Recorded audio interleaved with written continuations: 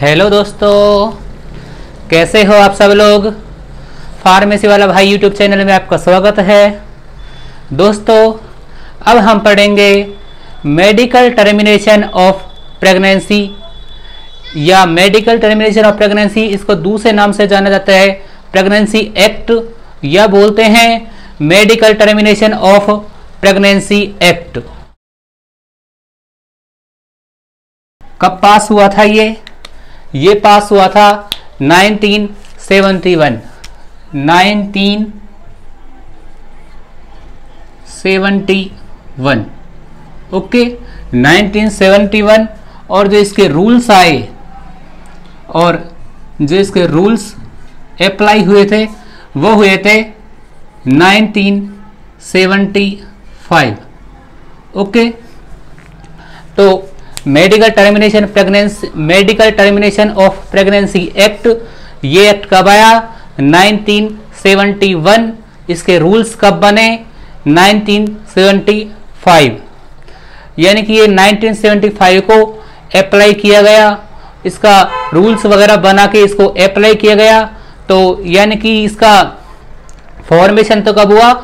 1971 यानी कि ये एक्ट पास हुआ 1971 में और इसको अप्लाई किया गया, वो किया गया 1975 अब बात करते हैं, ये कहता है कि मेडिकल टर्मिनेशन टर्मिनेशन टर्मिनेशन का मतलब है किसी भी चीज़ को टर्मिनेट करना, रोकना, उस चीज़ को विदड्रा करना, उस चीज़ को रोकना। किसी भी कोई प्रोसेस चल रही है, उसको टर्मिनेट करने का मतलब है कि हमें वो प्रोसेस रोकनी है। अब रोकना को, रोकनी किसकी प्रोसेस है?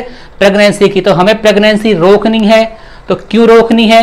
हम उसके कारण देखेंगे।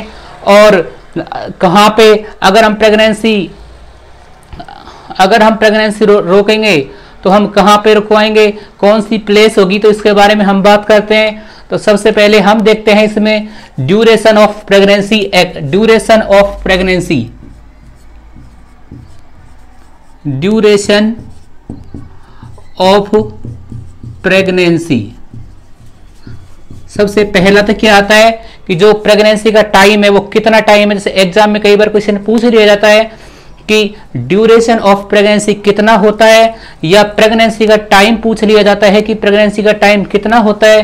तो इसमें हमको बताना होता है कि नाइन मंथ नाइन मंथ का तो नॉर्मली सब जानते हैं तो nine month plus seven days क्या बताना है हमें? प्रेगनेंसी का टाइम क्या होता है? Nine months nine months plus seven days okay nine months plus seven days और अगर दूसरा हम देखें, अगर हम वीक की बात करें, कई बार सप्ताह का क्वेश्चन भी पूछा जाता है तो फोर्टी वीक्स ओके क्या बताना है? फोर्टी वीक्स बताना है। और फिर भी कई बार डेज़ में और पूछ लेता है कि टोटल डेज़ कितने होते हैं? तो टोटल डेज़ होते हैं टोटल डेज़ होते हैं टू एट्टी डेज़। ओके? भाई, अगर अब हमसे वो पूछता है कि ड्यूरेशन ऑफ़ प्रेगनेंसी कितना होता है तो ड्यूरेशन ऑफ़ प्रेगनेंसी की बात करते हैं कि जो प्रेगनेंसी में का जो समय होता है, एक फीटस का इम्प्लांटेशन होने से लेकर उसकी डिलीवरी तक का जो समय होता है, वो कितना होता है, उसके बारे में पूछा जाता है तो nine month plus seven days एक तो नॉर्मल सा कुछ उत्तर क्या होता है कि नाइन मंथ नाइन मंथ सब जानते हैं। तो nine month plus seven days इसके बाद में देखें तो फोर्टी वीक्स अगर सप्ताह की बात करें तो फोर्टी वीक्स और अगर डेज़ की बात करें तो 280 दिन या 280 डेज़ तो ये तो है हमारा ड्यूरेशन ऑफ़ प्रेगनेंसी यानी कि प्रेगनेंसी कंसीव हुई। कंसीव होने के कंसीव होने के बाद और डिलीवरी होने तक तो इतना समय लगता है। इतना समय लगता है, अब कुछ कंडीशंस होंगी। कुछ कंडीशंस में हमें अगर कोई प्रॉब्लम हुई तो हम ये थोड़ी है कि हम उसको प्रेगनेंसी को कंटिन्यू रखें। हम उसे रोक भी तो सकते हैं।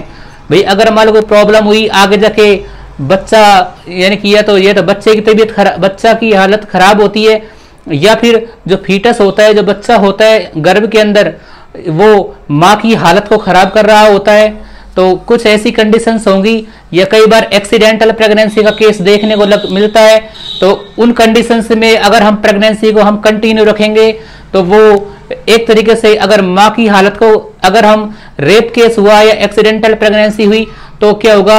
जो बच्चा होगा तो उसको किस उसको उसको उसके लिए प्रॉब्लम्स खड़ी हो जाएँगी। या फिर एक बदनामी रहती है रेप केस में। रेप केस या जिसको बोला जाता है एक्सीडेंटल प्रेगनेंसी इसलिए हम क्या करते हैं? उसको एक medical termination of pregnancy act इसके अकॉर्डिंग उसको टर्मिनेट किया जाता है। और अगर उसकी एक दो कंडीशन और हैं तो वो हम देखेंगे। तो अब हम देखेंगे conditions of termination allow conditions of termination allow कौन सी कंडीशंस है? उनमें बच्चे का जो टर्मिनेट करवाते हैं, वो अलाउ होता है। तो अब हम देखते हैं, जैसे एम अब इससे के बाद में duration of pregnancy nine month plus seven days अगर वीक की बात करें तो फोर्टी वीक्स और डेज़ की बात करें तो टू एट्टी डेज़ ओके इसके बाद में जब हम टर्मिनेशन करवाते हैं तो हमें क्या देखना पड़ता है कि जैसे एमटीपी यानी कि मेडिकल टर्मिनेशन ऑफ़ प्रेगनेंसी तो इसमें क्या होता है, जो ये 40 वीक का मैंने समय बताया 40 वीक का समय बताया तो इसमें ये बात आती है कि भाई कितने वीक तक हम टर्मिनेशन करवा सकते हैं। तो ये थोड़ी है कि भाई हम नाइन वीक तक ही टर्मिनेशन करवाएँ। तो कुछ उसकी भी तो कंडीशन होंगी कि भाई कितने वीक तक हम टर्मिनेशन करवा सकते हैं। तो वो हम देखेंगे कि अगर कंडीशन 12 वीक्स तक है, ओके? जब कंडीशन 12 वीक्स तक है, एक कंडीशन तो वो होती है और एक कंडीशन होती है, जब condition 12 to 20 12 to 20 weeks okay तो एक तो हम देखते हैं कि जब एक तो कंडीशन आती है कि 12 वीक तक। 12 वीक तक अगर हम 12 वीक से पहले तो हम टर्मिनेट वैसे ही करवा सकते हैं, लेकिन अगर 12 वीक हो गए, जैसे पहले तो हम बच्चे को, बच्चा चाह रहे थे या कोई कारणवश अब हम नहीं चाह रहे तो और अगर उसको 12 वीक हो गए हैं तो हमें क्या होगा? हम उसको अपनी इच्छा से टर्मिनेट नहीं करवा सकते। उसमें एक रजिस्टर्ड मेडिकल प्रैक्टिशनर की सहमति की ज़रूरत होती है। किसकी ज़रूरत होती है? एक रजिस्टर्ड मेडिकल प्रैक्टिशनर की सहमति की ज़रूरत होती है। तो वो जब अलाउ करेगा, उसके बाद में ही हम उसको टर्मिनेट करवा सकते हैं। तो इसमें हमें कैसे याद रखना है? One R M P, okay? R M P permission. One R M P permission, और जब 12 से 20 वीक की प्रेगनेंसी होती है, यानी कि जब 12 से 20 वीक की है तो उसमें हमें चाहिए दो, यानी कि टू आर एम पी, यानी कि दो रजिस्टर्ड मेडिकल प्रैक्टिशनर्स की परमिशन की रिक्वायरमेंट होती है। ओके? जो भाई हम अपनी इच्छा से थोड़ी करवा सकते हैं कि भाई हमारे, जैसे फीमेल की टेस्टिंग होगी, उसके बाद में अगर टर्मिनेशन पॉसिबल होगा तो ही तो टर्मिनेशन करेंगे। ये थोड़ी है कि अपनी इच्छा से ही अपन करवा सकते हैं। अब इसको अलाउ कौन करेगा? तो इसकी अलाउंस देता है। अगर 12 वीक तक की प्रेगनेंसी है। जैसे प्रेगनेंसी का टाइम पूछते हैं और प्रेगनेंसी का टाइम चेक करने के बाद बताते हैं, अगर 12 वीक तक की है तो एक रजिस्टर्ड मेडिकल प्रैक्टिशनर की परमिशन से ही काम हो जाएगा और अगर 12 वीक से ज़्यादा हो गए या 12 से 20 वीक तक की प्रेगनेंसी है तो उसमें हमको दो रजिस्टर्ड मेडिकल प्रैक्टिशनर की परमिशन की ज़रूरत होती है। उसमें एक एक की परमिशन से काम नहीं चलेगा। उसमें हमको दो रजिस्टर्ड मेडिकल प्रैक्टिशनर की रिक्वायरमेंट होगी। जब वे दोनों परमिशन देंगे, उसके बाद ही हम टर्मिनेशन करवाएँगे। तो ये तो था हमारा medical termination of pregnancy act कब आया? कब आया? 1971 इसके रूल कब बने? 1975 यह रूल बन के अप्लाई हुआ 1975 अब जब टर्मिनेशन टर्मिनेशन का मतलब है, जो प्रेगनेंसी जो कंटिन्यू है, उसको रोकना। टर्मिनेट टर्मिनेट एक वर्ड आता है, टर्मिनेट। टर्मिनेट का मतलब है रोकना। ओके? टर्मिनेट का मतलब है रोकना। हमें प्रेगनेंसी को रोकना है, हम प्रेगनेंसी को कंटिन्यू नहीं करना चाहते। तो ये होता है टर्मिनेट। अब टर्मिनेट करें तो अगर 12 वीक तक की प्रेगनेंसी है तो एक रजिस्टर्ड मेडिकल प्रैक्टिशनर की कम से कम एक रजिस्टर्ड मेडिकल प्रैक्टिशनर की हमें परमिशन चाहिए, वो अलाउ करेगा तो ही करेंगे। और अगर 12 से 20 वीक तक की प्रेगनेंसी का टाइम है 12 से 20 वीक अगर लगभग तीन से पाँच माह का अगर गर्भ हो गया फीटस हो गया तो हमें दो रजिस्टर्ड मेडिकल प्रैक्टिशनर दो रजिस्टर्ड मेडिकल प्रैक्टिशनर्स की परमिशन की रिक्वायरमेंट पड़ेगी। तो अब जो, जैसे अब हमने देखा कि भाई 12 वीक तक की प्रेगनेंसी है तो एक आरएमपी की परमिशन चाहिए। अगर 12 से 20 वीक की प्रेगनेंसी है तो हमें दो रजिस्टर्ड मेडिकल प्रैक्टिशनर की परमिशन चाहिए। अब हम देखेंगे कि जो रजिस्टर्ड मेडिकल प्रैक्टिशनर है, जो अलाउ करेगा टर्मिनेशन को तो वो किस बेस के ऊपर अलाउ करेगा? वो कौन कौन से पैरामीटर देखेगा? तभी तो वो अलाउ करेगा। तो अब हम देखेंगे कंडीशंस अब हम देखेंगे conditions for termination conditions of termination अब बात करते हैं कंडीशंस की। तो कंडीशंस में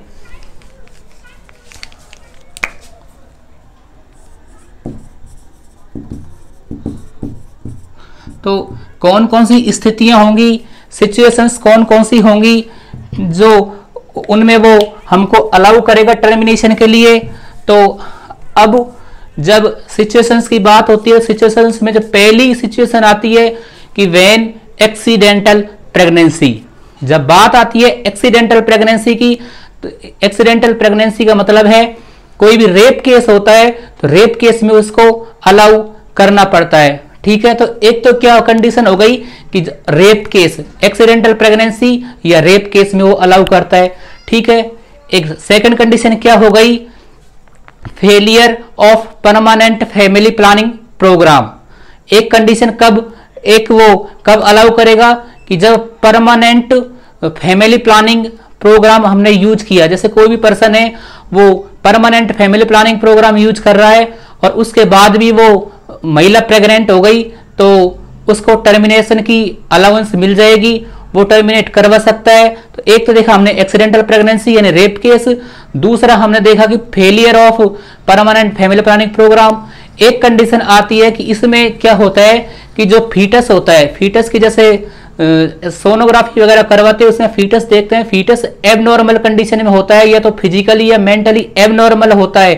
तो हम उसको टर्मिनेट करवा सकते हैं। भाई, जो बच्चा पैदा होने के बाद वो अपंग होगा या मेंटली डिस्टर्ब होगा तो उसका पैदा होकर भी उसको प्रॉब्लम बढ़ेंगी बढ़ेंगी तो एक टर्मिनेशन तब अलाउ है और या फिर जैसे अगर हम प्रेगनेंसी कंटिन्यू रख रहे हैं, जैसे प्रेगनेंसी कंटिन्यू रखेंगे तो नाइन मंथ का ड्यूरेशन है। और इसमें महिला को अगर कोई फीटस ऐसा है कि जो या कोई प्रॉब्लम हो रही है कि महिला को अगर प्रेगनेंसी कंटिन्यू रख रही है महिला महिला अगर प्रेगनेंसी कंटिन्यू रख रही है तो उसकी हेल्थ को एडवर्सली अफेक्ट कर रहा है। अगर प्रेगनेंसी कंटिन्यू रखते हैं तो महिला की हेल्थ फिजिकली या मेंटली एडवर्सली अफेक्ट होती है तो हम टर्मिनेशन को अलाउ करते हैं। तो ये देखी थी हमने चार टर्मिनेशन की कंडीशन तो पहली जो कंडीशन थी, वो तो कौन सी थी? फ़र्स्ट कंडीशन थी, वो थी when accidental pregnancy first condition क्या थी? When accidental accidental pregnancy accidental pregnancy का मतलब होता है rape case. Accidental pregnancy. Accidental pregnancy, या इसको बोला जाता है नॉर्मली रेप केस। क्या बोला जाता है कि जब भी कोई रेप केस होता है तो रेप केस में प्रेगनेंसी को टर्मिनेशन की अलाउंस मिल जाती है, क्योंकि रेप केस के बाद में महिला की इज़्ज़त को देखते हुए उसको टर्मिनेशन की अलाउंस उसकी परमिशन मिल जाती है। और इसके बाद में हम देखें वेन जब कंटिन्यू रखते हैं प्रेगनेंसी को when continue pregnancy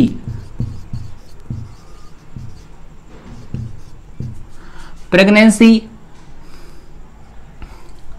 health of health of health of woman is mentally and physically physically adversely affected. Adversely affected. तो एक तो हमने देखा कि वैन एक्सीडेंटल प्रेगनेंसी ये इसको बोला जाता है रेप केस जब रेप केस की कंडीशन में हम अलाउ करते हैं और जो सेकंड वाली कंडीशन किया है वैन कंटिन्यू प्रेगनेंसी जब हम प्रेगनेंसी को कंटिन्यू रखते हैं health of woman health of pregnant woman या lady woman is mentally and physically adversely affected अगर हम प्रेगनेंसी को कंटिन्यू रखते हैं तो जो बच्चे की माँ है, यानी कि जिसको, यानी कि जो बच्चे की माँ है, उसकी हेल्थ या तो फिजिकली या मेंटली मेंटली एडवर्सली अफेक्ट होती है। यानी कि उसके फिजिक्स पर, यानी कि उसके शरीर पर और उसके दिमाग पर अगर विपरीत प्रभाव पड़ता है तो हम उसको टर्मिनेशन को अलाउ करेंगे। या फिर हम देखें कि जब वेन फीटस कि जब जो फीटस है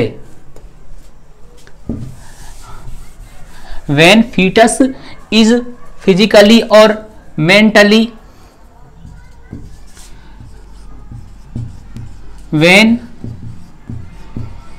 foetus is mentally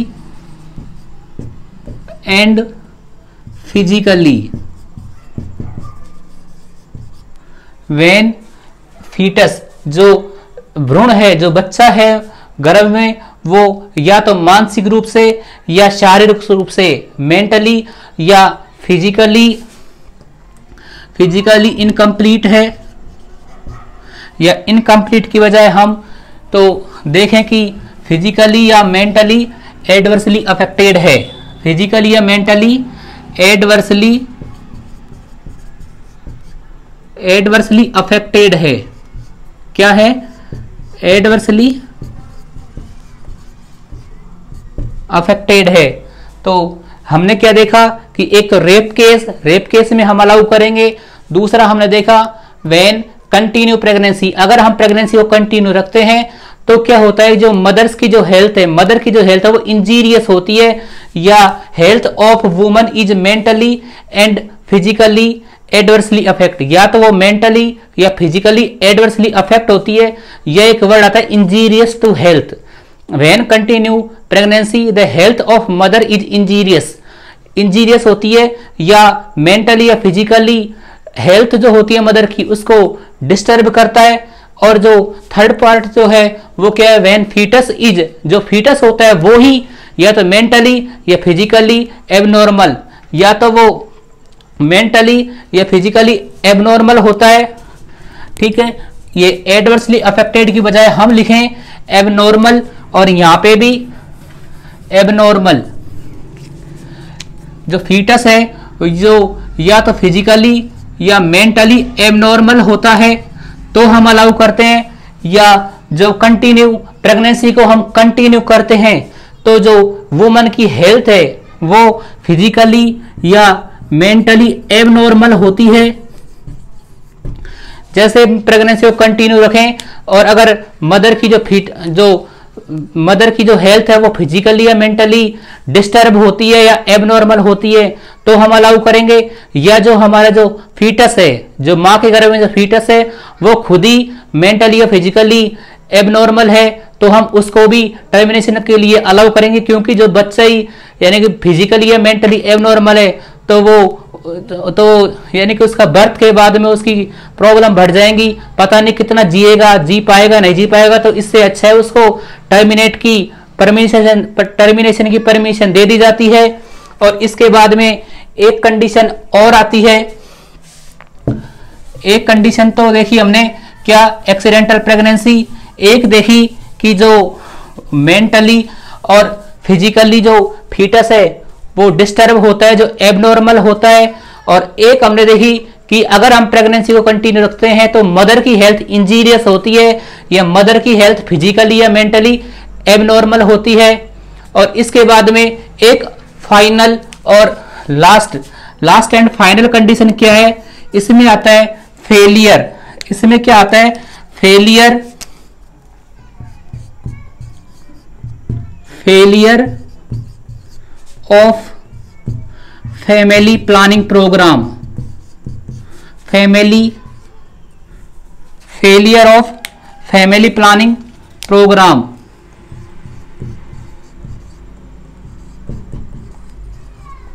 family planning program okay तो एक कंडीशन क्या हुई कि जैसे कोई कपल है कोई कपल जिसने फैमिली प्लानिंग प्रोग्राम लिया हुआ है या जो फैमिली प्लानिंग प्रोग्राम उसको, उसकी गाइडेंस को फॉलो कर रहा है और उसके बाद में भी अगर वो प्रेगनेंसी को कंसीव कर जाती है महिला तो उसको टर्मिनेशन की अलाउ है। अब जैसे बात आती है कि फैमिली प्लानिंग प्रोग्राम वाली को अलाउ तो कर दिया अलाउ कर दिया, लेकिन इसमें भी अगर फैमिली प्लानिंग की बात करें तो दो तरीके से होती है, एक टेम्पोररी एक परमानेंट अब यहाँ पे कंडीशन क्या आती है? वह महिला जिसने permanent family planning program permanent family planning program के अनुसार वो है तो उसको टर्मिनेशन की अलाउ टर्मिनेशन करवा सकती है वो, क्योंकि उसका जो उसने family planning program permanent family planning program है, वो लिया हुआ है और उसके बाद में भी वो प्रेग्नेंट है तो उसको टर्मिनेशन की अलाउंस है। तो ये देखी थी हमने चार कंडीशन तो पहली कंडीशन तो क्या थी कि वैन एक्सीडेंटल प्रेगनेंसी हमें क्या याद रखना है? एक्सीडेंटल प्रेगनेंसी रेप केस एक कंडीशन हो गई। दूसरी कंडीशन क्या थी कि जो फीटस है, वो मेंटली एंड फिजिकली एबनॉर्मल होता है तो तो हमको क्या, वो अलाउंस मिल जाती है टर्मिनेशन की। अगर हम अगर हम प्रेगनेंसी को कंटिन्यू रखते हैं तो जो मदर की हेल्थ है, उसके लिए अगर वो इंजीरियस टू हेल्थ अगर वो मदर की हेल्थ है, उसको उसके लिए इंजीरियस होता है या उसकी हेल्थ को मेंटली और फिजिकली डिस्टर्ब करता है तो हम उस चीज़ को टर्मिनेशन को अलाउ करेंगे।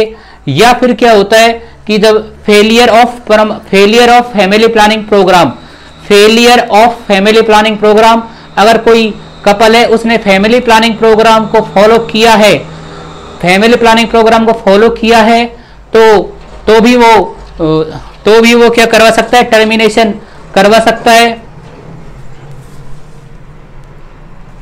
टर्मिनेशन करवा सकता है। अब इसके बाद में हम देखेंगे कि जो, ये तो हमने अब तक तो क्या देखा? ड्यूरेशन ऑफ़ प्रेगनेंसी एक तो ये देखा इसके बाद में हमने देखा कि जब हम टाइम देखते हैं, जो nine month plus forty days ये देखा, इसके बाद में हम टर्मिनेशन करवाएँगे तो मिनिमम टाइम क्या है और मैक्सिमम टाइम क्या है? यानी कि 12 वीक तक की प्रेगनेंसी होती है तो उसको हम यानी कि हमने देखा कि दो कंडीशन है। अगर 12 वीक तक की प्रेगनेंसी है तो उसको हम एक रजिस्टर्ड मेडिकल प्रैक्टिशनर की अलाउंस पर या उसकी परमिशन पर हम टर्मिनेट करवा सकते हैं। और अगर 12 से 20 वीक की प्रेगनेंसी है तो हमको दो रजिस्टर्ड मेडिकल प्रैक्टिशनर की परमिशन की आवश्यकता होगी। इसके बाद हमने देखी कंडीशन कंडीशन ऑफ़ टर्मिनेशन की किन किन कंडीशन में हमको टर्मिनेशन की जो परमिशन वो अलाउ हो जाएगी। इसके बाद में हम देखेंगे कि जो जो टर्मिनेशन होगा जहाँ पे, जैसे टर्मिनेशन कहा होता है हॉस्पिटल में करवाना पड़ेगा तो टर्मिनेशन का जो place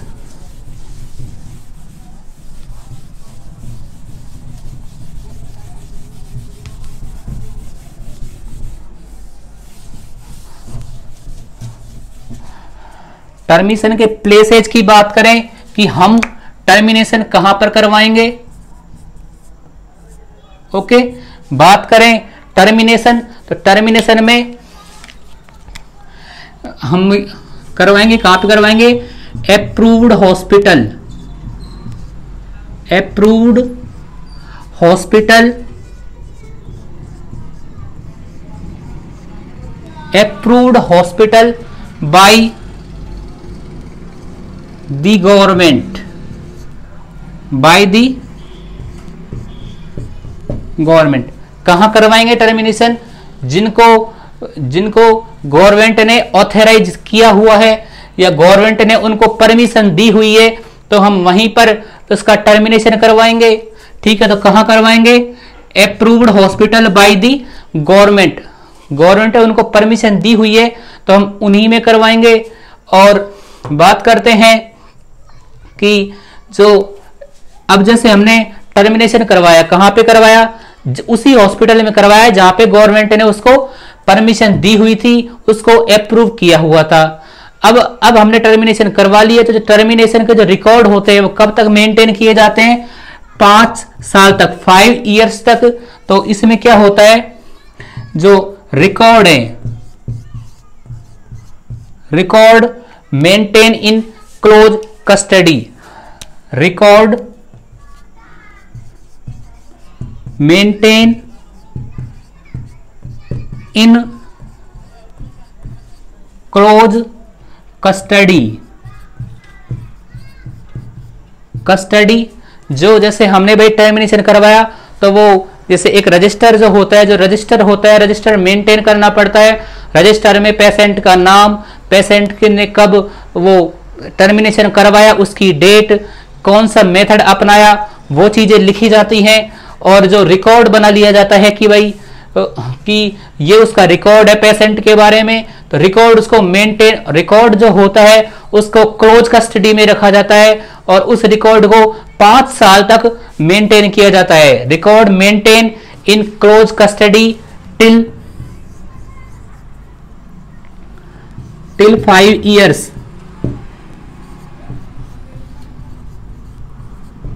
okay record maintain in record maintain और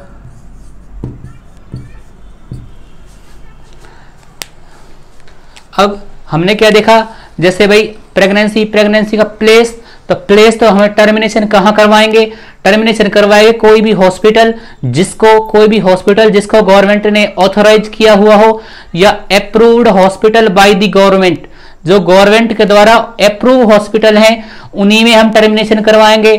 अब टर्मिनेशन करवाए तो टर्मिनेशन का एक रिकॉर्ड रखा जाएगा, बाकायदा एक रजिस्टर बनाया जाएगा।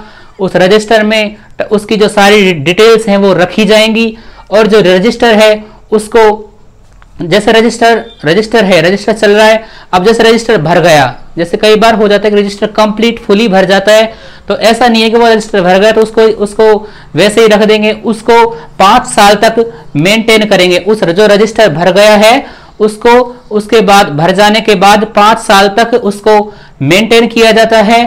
तो ये था हमारा medical termination of pregnancy act अब बात करें medical termination of pregnancy act की तो ये कब पास हुआ? 1971 इसके रूल कब बने? 1975 इसमें जो ड्यूरेशन ऑफ़ प्रेगनेंसी क्या बताया?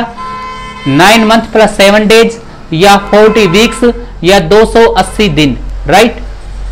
ठीक है? 280 दिन। इसके बाद में हमने देखी, जो प्रेगनेंसी का ड्यूरेशन है, उसमें जो हमको डॉक्टर की परमिशन चाहिए रजिस्टर्ड मेडिकल प्रैक्टिशनर की परमिशन चाहिए। अगर 12 वीक की प्रेगनेंसी है तो एक रजिस्टर्ड मेडिकल मेडिकल प्रैक्टिशनर की परमिशन से काम हो जाएगा। और अगर 12 से 20 वीक तक की प्रेगनेंसी है तो हमको दो रजिस्टर्ड मेडिकल प्रैक्टिशनर की परमिशन की रिक्वायरमेंट होगी। अब इसके बाद में हमने देखा था condition of condition of termination इसमें हमने देखा कि अगर एक्सीडेंटल प्रेगनेंसी है, यानी कि रेप केस की रेप वाला केस है तो हम टर्मिनेट करवा सकते हैं। और इसके बाद में हमने देखा कि अगर फीटस मेंटली और फिजिकली एबनॉर्मल है तो हम उसको टर्मिनेट करवा सकते हैं। और अगर हम प्रेगनेंसी को कंटिन्यू रखते हैं और प्रेगनेंसी को कंटिन्यू रखते हुए तो जो जो फीटस की माँ है फीटस की माँ है, अगर उसको उसको फिजिकली या मेंटली एबनॉर्मल होती है वो, यानी कि या तो जो फीटस होता है वही वही फिजिकली या मेंटली एबनॉर्मल हो तो हम टर्मिनेट करवा सकते हैं। या अगर जैसे हम, जैसे वो जो बच्चे की माँ है, यानी कि जो प्रेग्नेंट और प्रेग्नेंट औरत है, उसकी उसकी हेल्थ को इंजीरियस करता हो या उसकी लाइफ के लिए लाइफ थ्रेटनिंग प्रॉब्लम क्रिएट करता हो तो हम इसको टर्मिनेशन को अलाउ करते हैं। एक टर्मिनेशन को अलाउ कर, कब करते हैं? When failure of family planning program जब फैमिली प्लानिंग प्रोग्राम फेल हो जाता है तो हम क्या टर्मिनेशन को अलाउ करते हैं? और इसके बाद में हमने जो लास्ट एंड फाइनल देखा कि टर्मिनेशन कहाँ होते हैं? Approved hospital by the government by the central government या स्टेट गवर्नमेंट जो गवर्नमेंट के द्वारा ऑथराइज हॉस्पिटल है, उन्हीं में होगी। और जो इसके बाद में हमने देखा जो रिकॉर्ड्स होते हैं records maintain till five year पाँच साल तक हमने शुद्ध शुद्ध में बिल्कुल सही समझना है कि जब हमारा जैसे जो रजिस्टर चल रहा है रजिस्टर में रिकॉर्ड मेंटेन है और उस रिकॉर्ड वो रजिस्टर फिल हो जाता है। जैसे वो रजिस्टर पूरा भर जाता है, उसके बाद में भी उसको पाँच साल तक मेंटेन किया जाता है। तो ये था हमारा प्रेगनेंसी एक्ट अगर आपको वीडियो अच्छा लगा हो तो प्लीज़ लाइक करें शेयर करें। और अगर आपने अब तक हमारा चैनल सब्सक्राइब नहीं किया हो तो प्लीज़ चैनल को सब्सक्राइब करें।